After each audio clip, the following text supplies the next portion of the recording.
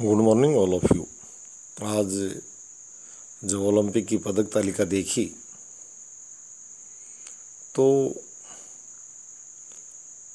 दिमाग में कई प्रश्न उठे, जहन में कई प्रश्न उठे कि ओलंपिक पदक तालिका में हम इतनी दूर क्यों खड़े हैं?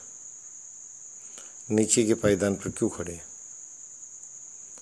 इस बात का गहन अध्ययन किया जाना चाहिए। इस पर लोगों के जो है विचार या प्रतिक्रियाएँ ली जानी चाहिए कि हम शिखर पर कैसे पहुँचे। क्या खिलाड़ियों को प्रशिक्षण में सुधार की ज़रूरत है? या उनको पुरस्कार की ज़रूरत है? या उचित चयन की ज़रूरत है?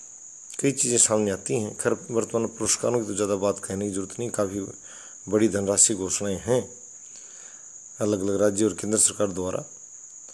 पर मुख्य बात यह है कि जैसे आम चर्चा में कि उनसे ज़्यादा योग्य खिलाड़ी यहाँ कभी पीछे ना रह गए हों। जो भेजे गए जो दल भेजा जाता है, वो कम से कम उस देश का, उस देश के नागरिकों में से श्रेष्ठ चयनित दल जाना चाहिए। मेरा मतलब ये है जैसे जिस भी क्षेत्र का कोई खिलाड़ी किसी भी खेल में जो नेतृत्व कर, करने जा रहा है उसको अपना स्कोर साझा करना चाहिए कि ये अमुक खिलाड़ी इसी स्कोर का खिलाड़ी है। चाहे वो रेसलर हो चाहे रेसर हो। यदि उससे श्रेष्ठता को दावा करता तो पहले उसका उसके साथ कंपटीशन करवा लिया जाना चाहिए और विनर को वहाँ भेजा जाना चाहिए।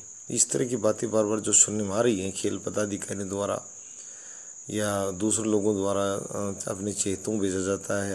यानी चर्चाएँ आम समाज में नहीं आनी चाहिए और अगर आई भी हैं तो उनका निवारण कर देना चाहिए।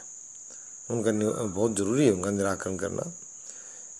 उनको बिल्कुल पब्लिक आम जनता के दिमाग से दूर करना बहुत ही आवश्यक है कि श्रेष्ठ को भेजा जाता हो। ये बात जो सामने आई, इस पर निश्चित रूप से कार्रवाई की जानी चाहिए। और एक खेल मंत्रालय को भी। अपनी तरफ़ से एक नोटिफिकेशन जारी करना चाहिए कि इन खिलाड़ियों से श्रेष्ठता का कोई दावा करता है ताकि चयन समितियों पर अंगुलियाँ न उठें।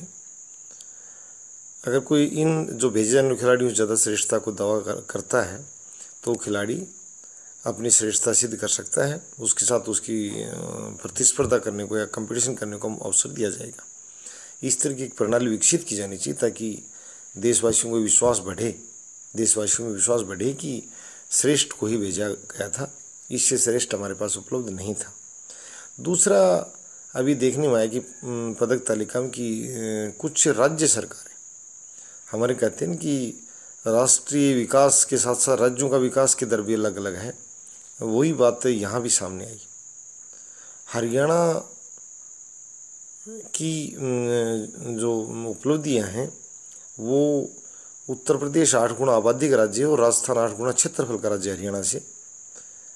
उन दोनों का खेल के क्षेत्र में प्रदर्शन जो है, या ओलंपिक, एशियन कॉमनवेल्थ राष्ट्रमंडल खेल जहाँ भी है, हरियाणा से मध्य प्रदेश और महाराष्ट्र महाराष्ट्र कहते जीडीपी के मामले में शीर्ष पर खड़ा है।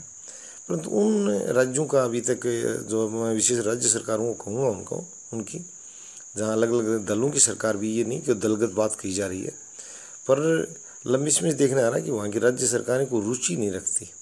खेलों प्रोत्साहन में या उनकी रुचि का कोई रिज़ल्ट नहीं आया, ये मैं कहूँ साथ। परंतु देखा जाए तो इतने बड़े बड़े राज्यों का जो योगदान है, राष्ट्रीय उपलब्धि के या खेल के क्षेत्र में, वो बहुत ही फीका है और इसके लिए वो राज्य सरकारें भी तेज़ी के साथ खेल को बढ़ावा दें।